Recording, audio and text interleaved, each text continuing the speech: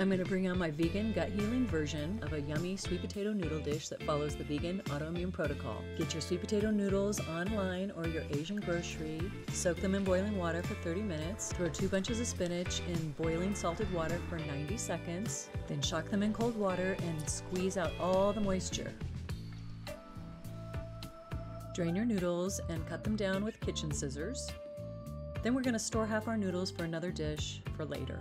Saute and brown two and a half cups of your favorite mushroom. Throw in two cups of shredded or julienne carrots and four to five sliced scallions. Then throw in three to four tablespoons of coconut aminos and a splash of balsamic vinegar, which is a substitute for rice wine vinegar. Throw in a little ganthoda powder, which is a black pepper substitute, and you can find it online.